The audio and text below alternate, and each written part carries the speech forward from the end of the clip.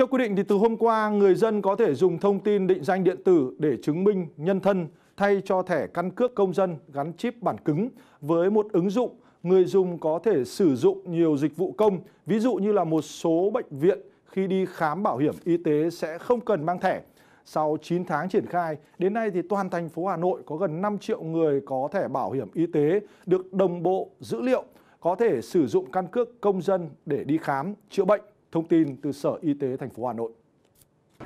Cùng với đó thì toàn thành phố có hơn 500 cơ sở khám chữa bệnh bảo hiểm y tế đã áp dụng sử dụng căn cước công dân tra cứu, khám chữa bệnh. Gần 57.000 lượt công dân sử dụng căn cước công dân để tra cứu, khám chữa bệnh tại các cơ sở khám chữa bệnh. Thành phố Hà Nội sẽ triển khai đồng loạt 100% cơ sở y tế trên địa bàn thực hiện khám chữa bệnh bằng thẻ căn cước công dân thay thế thẻ bảo hiểm y tế.